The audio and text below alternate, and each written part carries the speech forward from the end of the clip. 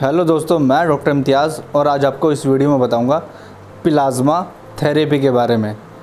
तो इस थेरेपी से लोगों में बहुत ज़्यादा पूरी दुनिया में उम्मीद बढ़ी है कि इसके ज़रिए कोरोना वायरस से अच्छे से लड़ा जा सकता है। और मैं आपको बता दूँ डब्ल्यूएचओ ने बहुत टाइम पहले इसके प्रयोग के लिए हाँ कर दिया था और बहुत सारे देशों में इस थेरेपी का, इस टेक्निक का यूज़ भी किया जा रहा है। तो मैं बता दूँ, ये कोई थेरेपी पहली बार यूज़ नहीं की जा रही है। इससे पहले भी रेबीज़ हो गया, आपके डिफ्थीरिया जैसी बीमारियों में और उनके वैक्सीन बनाने में इस टेक्निक का यूज़ किया जा चुका है। तो आपको प्लाज्मा थेरेपी क्या है, इसको समझने के लिए थोड़ा सा आपको ब्लड कंपोजिशन को भी समझना पड़ेगा। तो मैं आपको आसान शब्दों में इसके बारे में बताता हूँ। तो मान लीजिए कि ये आपका ब्लड है और ये पूरे 100 परसेंट ब्लड है। तो इस 100 परसेंट ब्लड के अंदर आपको जो ये येलो कलर में नज़र आ रहा है, ये आपको मिलेगा प्लाज्मा और ये प्लाज्मा रहता है 55 परसेंट और इस 55 परसेंट के अंदर आपको 90 परसेंट मिलता है वाटर मतलब कि पानी और जो बचा हुआ 10 परसेंट होता है, उसके अंदर आपको बहुत सारे एलिमेंट्स मिल जाते हैं, जैसे कि प्रोटीन हो गए इलेक्ट्रोलाइट्स हो गए, ये सब मिल जाते हैं। साथ में इसके अंदर इसी प्लाज्मा में पाए जाते हैं एंटीबॉडी तो ये जो एंटीबॉडी है, ये आगे प्लाज्मा थेरेपी में भी यूज़ होने वाले हैं तो इसको आप ध्यान रखिएगा कि इसी प्लाज्मा के अंदर ये एंटीबॉडी पाए जाते हैं। तो मैं बताऊँ दूसरे नंबर पर जो बच गए हैं आपके 45 परसेंट तो इस पैंतालीस, फोर्टी फाइव परसेंट के अंदर आरबीसी मिलेंगे आपको 98 परसेंट, अट्ठानवे परसेंट के आसपास रेड ब्लड सेल जिसको बोला जाता है।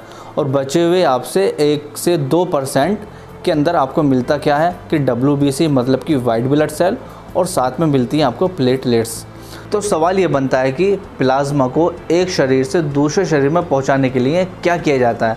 तो आपको आसान तरीके से मैं समझाता हूँ कि जब कोई इंसान किसी वायरस से, किसी बैक्टीरिया से बीमार होता है तो शरीर के अंदर उस वायरस बैक्टीरिया से लड़ने के लिए खुद पे खुद एंटीबॉडी बन जाते हैं उस वायरस को, उस बैक्टीरिया को ख़त्म करने के लिए। और ये एंटीबॉडी उस वायरस बैक्टीरिया को ख़त्म भी कर देते हैं और उसके बावजूद ये शरीर के अंदर एंटीबॉडी मौजूद रहते हैं।